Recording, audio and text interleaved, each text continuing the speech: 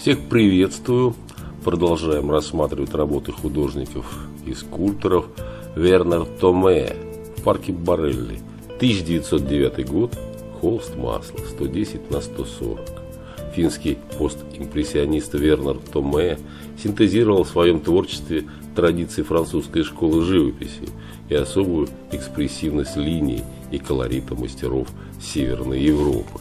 Перед зрителем одна из характерных работ зрелого периода деятельности мастера. Серьезные перемены произошли около 1906 года.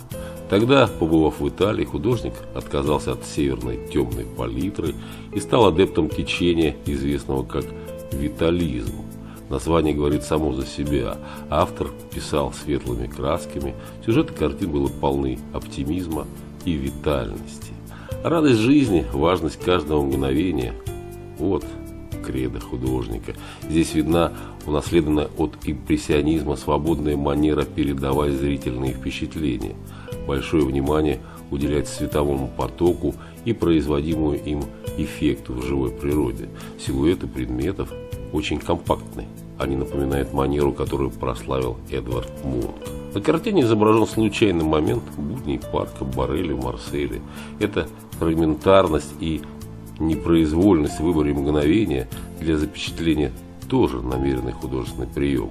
Тем самым Томе хочет показать ценность мельчайшего, незаметного в суете отрезка времени, важность для сердца и памяти человека, небольшого впечатления.